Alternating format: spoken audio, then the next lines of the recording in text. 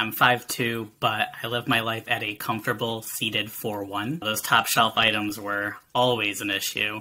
Um, now, as a wheelchair user, even more so. Now it's like mid shelf items. Kind of the most important thing to get over is pride in yourself and just being like, all right, I, I need to ask for help. We all need help once in a while, so there's nothing to be ashamed of.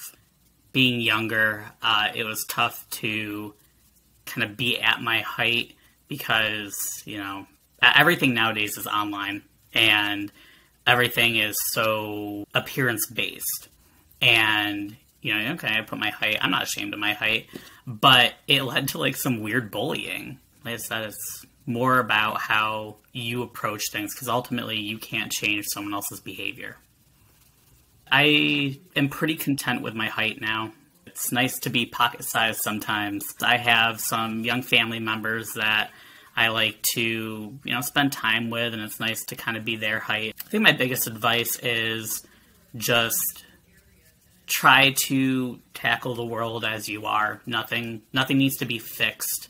If uh, if your corners aren't straightened out, if your edges aren't perfect, don't try to fit that box because it'll make you very unhappy. If you're a little bit of a weirdo, be a little bit of a weirdo. You know, you'll you'll find your group. I am truly just in love with my life. I'm content with where I am, the goals I have for myself, and I'm excited for the future.